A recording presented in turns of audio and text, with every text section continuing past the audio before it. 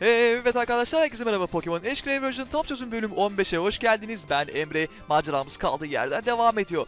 Geçen bölümde Prime Map ile P1 Grand Prix şampiyonluğunu kazanmıştık ve Prime Map'i buraya daha iyi bir eğitim görmesi için bırakmıştık. Bakalım bu bölümde bizi neler bekliyor. Batıya doğru ilerliyoruz ve geldiğimiz yer Rota 14. Burası da neresi? Gringi şehri. Peki burası neden karanlık? Hemşire Joy bize bunu anlatır mısın? Üzgünüm şu anda Pokemon'ları iyileştiremiyorum. Şehirdeki tüm güç gitti. Buradaki Pokemon'ların neler olacak? Düşünmek bile istemiyorum. Eğer sen pa- Power Plant'e gitseydin sorunun ne olduğunu bulabilirdin. Aa tamam senin için yaparım bunu hemşire Joy ve karanlıkta bile çok güzelsin. Haberin olsun. Tamam hemen Power Plant'e gidelim ve hemşire Joy'un dilediğini yapalım. Power Plant sıkıntı buradan kaynaklanıyormuş. Hmm, Power Plant'in neresi olduğunu biliyoruz burası. Elektrik tipi Pokemon'larla kaynıyor. O yüzden hemen bir repel basalım ve Pokemon'ları atlatalım. Aa burada birçok item bulacağız gibi görünüyor. İki adım sonra bir Hyper Pot buldum. Bakalım burada daha neler neler bulacağız. Şu aşağı gidelim. Burada çok item bulun. Burası çok item bulunması değil mi? Evet evet doğru tahmin etmişiz. Bir item buldum. TM 17'ymiş. Hmm, TM17 Protect. Protect benim pek e, kullanmayı tercih ettiğim bir saldırı hareket değil. Ama TM çantasında durmasında da sakınca görmüyorum. Burada da bir item olması gerek. TB24 Thunderbolt bu. Oyunun bu seviyesinde Thunderbolt bulmak gerçekten harika. Ee, benim Pikachu'mun zaten Thunderbolt'u var ama Pikachu dışında bir elektrik Pokemon'um olsaydı ve Thunderbolt saldırısı olmasaydı eminim ki bu Thunderbolt saldırısını ona öğretirdim. Bir Paralyzer bulduk. Harika. Bakalım daha başka ne itemler bulacağız burada. Bıp bıp bıp bıp. Çıkmaz yol. Tamam, buranın doğru yol olduğunu eminim. Power Plant'e Pokemon Grey'de ilk defa gelsem bile diğer oyunlarda defalarca geldim. Ve şurada kocaman mor yapışkan çirkin şey de ne? Kapıyı kapatmış çıkmama engel oluyor. o kokulu yapışkan e, bir Pokemon. Pekala çıkışı kapatmış. Tüm gücün gitmesinde bu dev kokan yapışkan Pokemon sorunlu. Ondan kurtulmalıyız. Eğer tekrar motoru çalıştırmak istiyorsak. Biliyorum. Bizim için ve ondan kurtulmak için şu Pokemon'la savaşacak mısın? Aman tanrım buraya geliyor. Bir şeyler yap. Tamam. Eş Maka karşı. Aynı animedeki gibi bir Mak'la karşılaştık. Bu harika. Onunla savaşmak için can atıyorum. Ama onu fazla yıpratmamalıyım. Çünkü eş gibi ben de o Mak'ı yakalayacağım. Wow kritik vurdum. Neredeyse tek atıyordum. Wow. Ah. Ah kalbime iniyordu. Neyse ki çok güzel bir yerde kaldı HP'si. Artık onu yakalaması çok daha kolay olacak ve onun karşısına Balbazar'ı koyacağım. Onun Sleep Powder'ı sayesinde, Balbazar'ın Sleep Powder'ı sayesinde, uyutma tozu sayesinde Mak'ı kolayca yakalayabilirim. Hadi Balbazar onu uyutalım. Ve ilk seferde işe yaradı. Şimdilik harika gidiyoruz. Her şey istediğimiz gibi. Her şey yolunda. Şimdi tek yapmam gereken poket topu atmak. Wow, hatta her şey istediğimden çok daha iyi gidiyor. Pikachu'nun kritik vurması, Mak'ın HP'sinin burada kalması, 1 ya da 2 HP'si var. Gerçekten mükemmel. Benim tahminlerimin de ötesinde ve ilk poke topunda geldi. Her şey ne kadar da mükemmel. Öyle değil mi? Mak Pokédex'te bize kaybol kaydoldu ve takımımıza hoş geldin. Hoş geldin Mak. Başardın. Mak'tan kurtulduk ve güç tekrar geldi. Teşekkür olarak eş. Bunu alır mısın? Evet bize magnet verdi. Magnet e, elektrik tipi saldırıların gücünü %20 arttıran gerçekten çok güzel bir item. Pikachu'ma vermek isterdim ama Pikachu'nun elektrik saldırılarını çok daha fazla arttıran bir item var. Light Ball. Artık dayanamıyorum. Şu dikletler. Onlar her şeyi yok ediyorlar. Evet, dikletler yine yapacaklarını yaptılar ve kamyonların altını kazdılar. Artık kamyonlar kıpırdayamıyor. Diklet dik, diklet dik, diklet dik. Onlara teşekkür olsun ki biz şu inşaatı bitiremiyoruz. Dikletlerden nefret ediyorum. Hepsinden nefret ediyorum. Görünen o ki rüyamızdaki Givadem adındaki dağların arasında olan harika inşaatı tamamlayamayacağız. Biz tüm eğiticileri buraya onlardan kurtulmak için çağırıyoruz. Ah, sen de bir Pokemon eğitmenisin değil mi? Lütfen eğer Diklet mağarasından geçeceksen başarabildiğin kadar Diklet yen. Eğer bunu yaparsan sana harika bir ödül vereceğim. Hı, tamam. Bakalım yani elimizden geleni yaparız. Ve burada bir eğitici var. Sanırım ondan savaşmak zorundayız. Peki başa hangi Pokemon'u koymalıyım? Hı, emin olamıyorum. Charmander, Pidgeotto yoksa Pikachu? Tamam. Pikachu olsun. Evet ilk savaşımız başlıyor. This is where my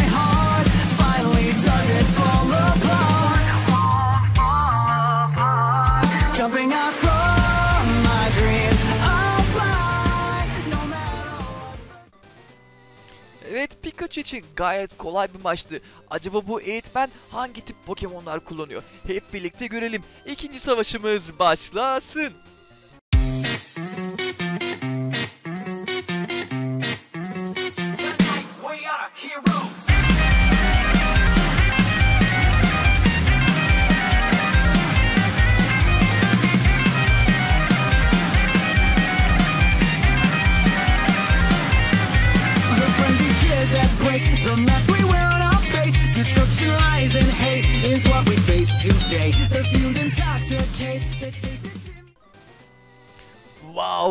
Gerçekten zorlu bir maçtı. Bu arada Pokemon'un üstünden Lucky Egg'in uçtu, Lucky Egg'in uçtuğunu gördüm şanslı yumurtanın. Neyse ki şu an yerinde. Evet, e, önümde bir eğitici daha mı var? Hadi ama burada çok fazla eğitici varmış. Sizce de öyle değil mi? Hemen Balbazar'ı başa koymak istiyorum. Bu eğitici Görünen o ki kaya tipi Pokemon'lar kullanıyor. Savaş başlasın. This is where my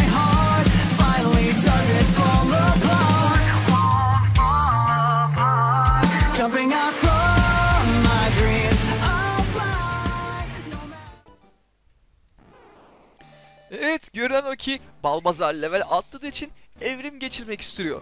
Ama o evrim geçirmek istese de biz ona izin vermeyeceğiz. Daha çok erken. Tamam. Bu da ne? Bir sıcak su kaynağına benziyor. Evet onun içine girdiğimiz için Pokemon'larımız iyileşti. Eski haline geldi. Diklet tüneline sonunda ulaştık. Abi bizi burada ne kadar diklet yenebilirsen yen demişti. Peki biz öyle bir şey yapacak mıyız? Hayır. Ripelimizi basıp yolumuza devam edeceğiz tabii ki. 5 ripelim kalmış sadece ama 5 ripel burayı geçmek için yeter de artar diye düşünüyorum. Bence en fazla burada 2 ripel harcarız. Gerçekten öyle mi acaba? Bu arada baştaki Pokemon'umdan daha yüksek bir level bir Pokemon çıkarsa e, Ripel işe yaramaz. Burada da o tip Pokemon'lardan olsa gerek. Dactrio. Her an karşıma bir Dactrio çıkabilir. Açıkçası ben çıkmasını pek istemem. Beni biraz zorlayabilir. Neyse ki çıkmadı. Harika. Evet dikletler burada. Wow şu bahçenin güzelliğine bakın. Bu bir diklet. Görünen o ki They appear to be following the ground. Yerin altından sürekli çıkıp duruyorlar. Ee, onların bahçesiymiş burası. Dünyadaki bütün bahçeleri acaba onlar mı inşa etti? O yüzden inşaatın devam etmesini istemiyorlar. Yoksa bu orman yok olacakmış. Gerçekten harika. Vay be ormanın güzelliğine bakın. Tamam artık burayı terk etme vakti geldi. Dikletlerle olan maceramız bu kadarmış. Underground Path yani yeraltı geçidi. Rota 17 ile Rota 11'i birbirine bağlıyormuş. Demek ki Rota 11'e doğru gidiyoruz. Aa bu ne? Ne? Roket takımı yine yeniden karşımda. Ama şimdiye kadar sürekli onları yendim. Şimdi onların beni yenmesi için bir neden yok ki. Senin için harika bir tehdidimiz var.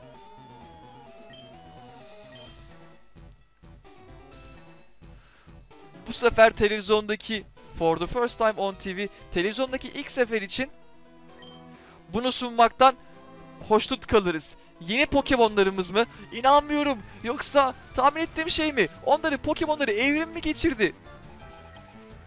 Evet Pokemon'ları evrim geçirmiş. Pokemon'a bak Arbok. Wow, şimdi çok daha zorlu olacaklar ve Pokemon'ların levelleri benimkilerle hemen hemen aynı. Onları yenmesi şimdi çok daha zor. Glaire'ı kullandı. Böylece Pokemon'um direkt paralyze oldu. Çok ama çok kötüsün Arbok. Ben de Sleep Powder'ı kullanıyorum seni uyutmak için. Hemen bir Pokemon değiştirmem lazım. Balbazar'la Arbok'u yenmek çok zor olacak gibi görünüyor. Şöyle bir bakalım. Squirtle olabilir. Evet evet Squirtle olabilir ya da Pikachu. Tamam bence Pikachu olsun. Roket takımından yapabildiğimiz yani e, kurtulabildiğimiz en hızlı şekilde kurtulalım. Bence Pikachu'nun Thunderbolt'u bu konuda 1'e 1. Light Ball sayesinde Thunderbolt iki katı kadar vuruyor.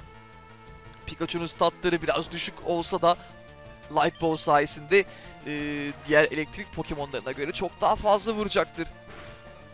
Evet, tek atamazsa da iki seferde Arbok'un işini bitirebildik. Çok zor olmadı Pikachu'm için. Evet şimdiki Pokemon'lar ise tabii ki Weezing. Weezing'i de yine özel saldırı olan Thunderbolt'la saldıralım. Özel saldırılar Weezing'e çok daha fazla vuruyor fiziksel saldırılara göre.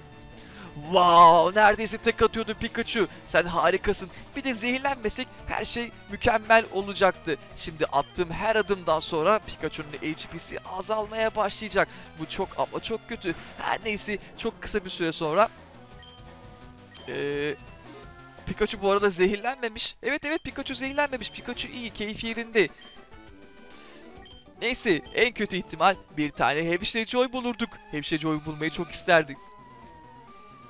Yeni Pokemon'larımızı bile kaybetmiş olabiliriz. Ama geri döneceğiz.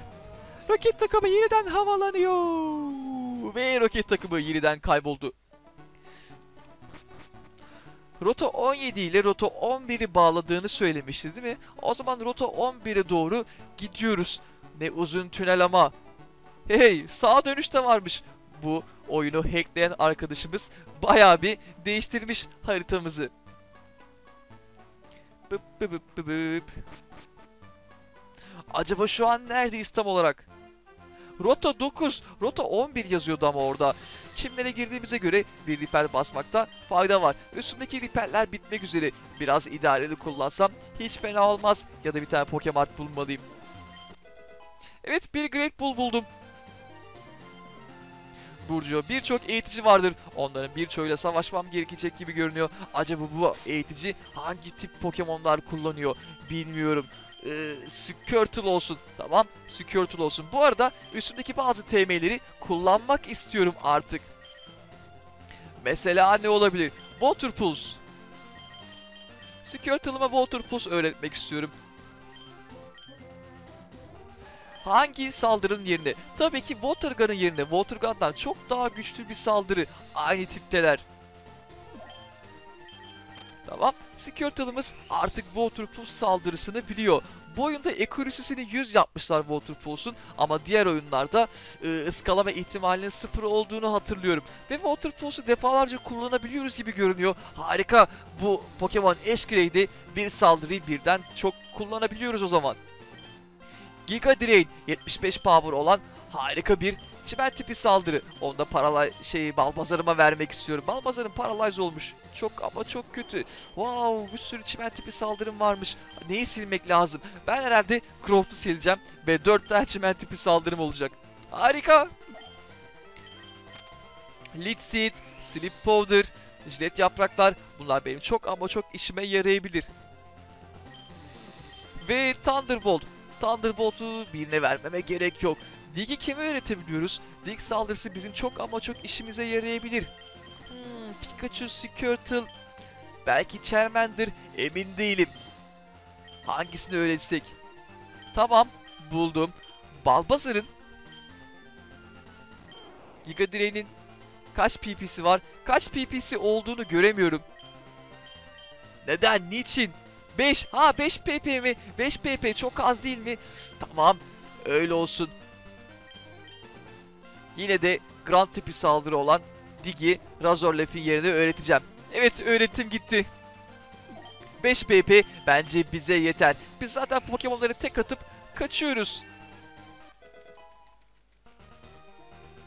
Psychic var, Shockwave var, Rock Tomb, Ee, Aerial Ace. Tamam. Aerial Ace'i de öğretebiliriz. Iskalama ihtimali sıfır. Onu da Pidgeot'u öğreteceğim. Wing atağın yerine.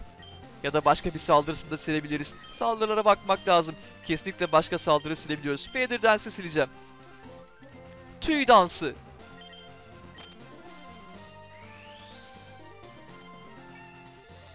Harika. Başka ne yapabiliriz? Secret Power. Ee, olmaz.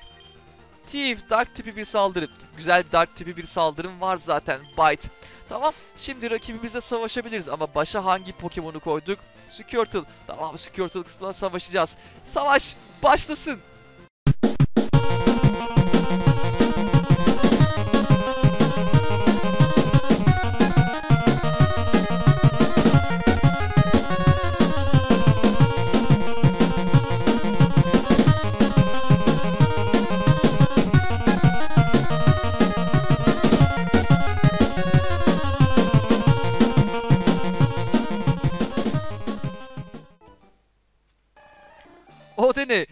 Squirtle da level atladığı için evrim geçirmek istiyor ama Squirtle biraz daha beklemelisin.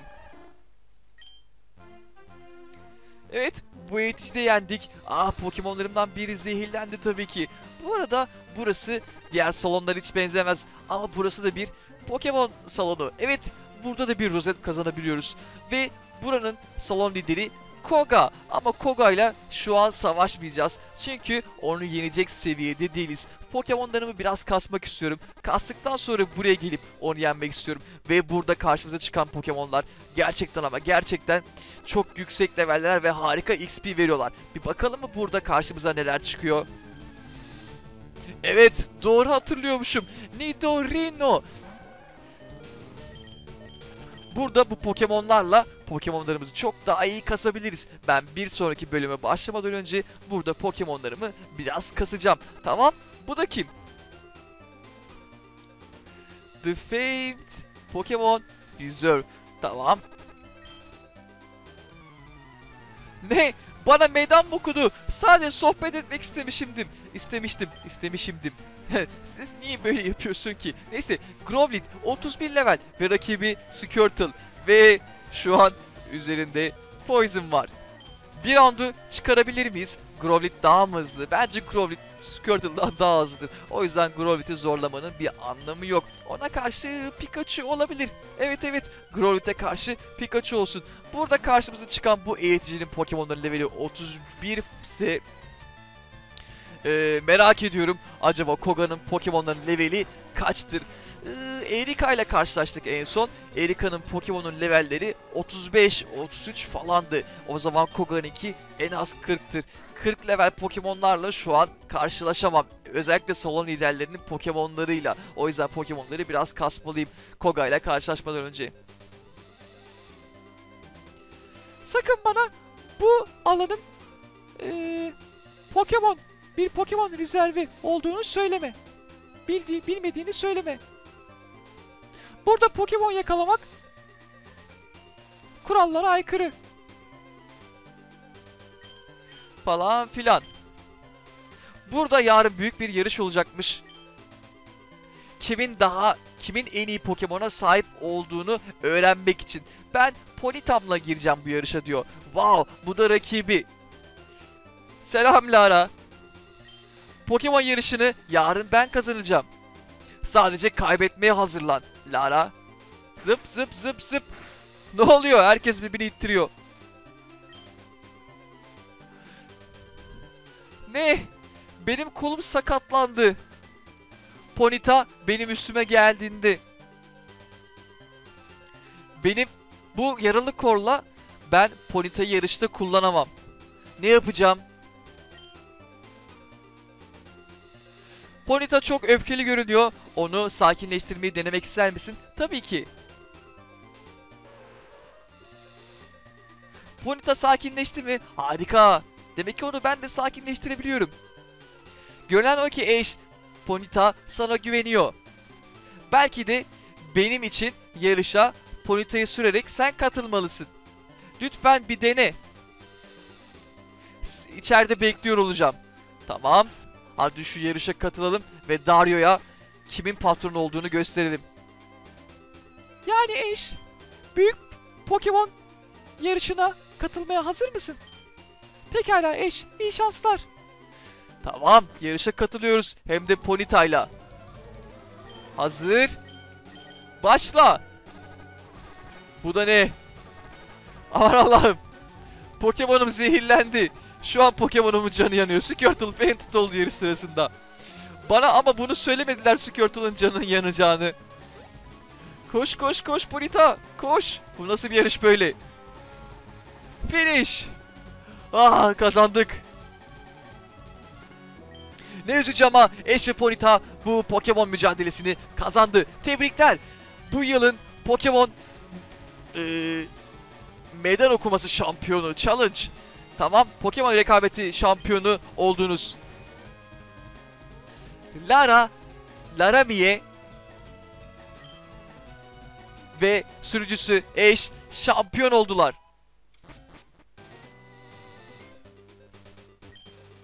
Teşekkürler Ash. Harika bir Pokemon eğitmeni olduğunu kanıtladın. Benim teşekkürüm olarak lütfen bunu kabul et. Ve bize Quick Claw verdi. Yavaş olan Pokemon'un ilk saldırmasını sağlayan harika bir item. Ve ben bunu kullanmak istiyorum. Pokemon'larımdan birine vereceğim. Ama hangi Pokemon'a vermeliyim? Balbazar. Pidgeotto. Tamam yavaş olan Pokemon dediğine göre Balbazar. Bence bu iş için uygun. Balbazar biraz yavaş bir Pokemon. Çok değil biraz. Evet. Ha, Ponyta'yla bir yarış kazandık. Harika değil miydi? Ve bir Diklet bahçesi gördük. Yani Dikletlerin yarattığı bir bahçe. Bu bölüm bence bayağı güzel bir bölümdü. Ve sonuna geldik. Umarım videoyu beğenmişsinizdir. Videoyu beğendiyseniz beğen butonuna basmayı, yorum yapmayı ve kanala abone olmayı unutmayın lütfen. Bir sonraki Pokemon videosunda görüşmek üzere. Kendinize iyi bakın. Hepinize iyi Pokemonlar.